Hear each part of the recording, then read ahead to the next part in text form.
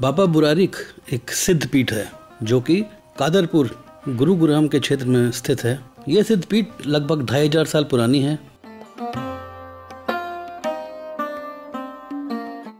बादशाहपुर से दमदमा लेक की और जाने वाले रास्ते पर ये गाँव पड़ता है रिठौज यदि हम बादशाहपुर से आए तो रिठौज से लगभग ढाई किलोमीटर की दूरी पर ये सिद्ध पीठ स्थित है।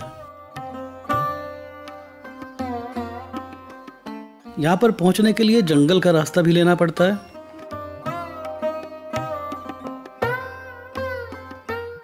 यहाँ पर जैसे ही हम इस प्राचीन मंदिर में अंदर घुसते हैं, मेरे पीछे अगर आप देखें, कुछ सीढ़ियाँ ऊपर जा रही हैं। यहाँ पर एक शनि बाबा का मंदिर है और इस शनि बाबा के मंदिर में कहते हैं कि शायद शनि महाराज यहाँ पर खुद विराजमान है, क्योंकि यहाँ पर, यहाँ के बारे में जो प्रचलित है वो ये है कि यहाँ पर मानी गई, मांगी गई कोई भी कामना जो है वो पूरी होती है।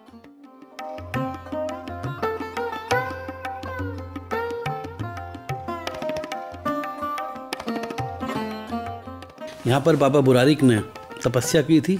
तपस्या के दौरान राक्षसों ने उन पर कई प्रहार किए और एक बहुत बड़ी शिला उनके ऊपर फेंकी, जिसको उन्होंने हवा में ही रोक दिया। सिर्फ़ ये कहकर कि रुक जा छोटंकी।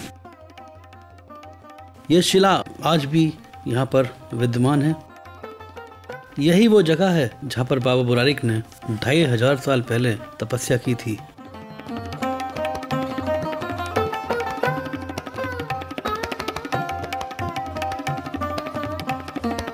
बाबा बुरारिक के स्थान पर, अनेकों बाबा यहाँ पर गद्दी पर विराजमान रहे। आज बाबा सुनील दास, बाबा बुरारिक की गद्दी पर विराजमान है।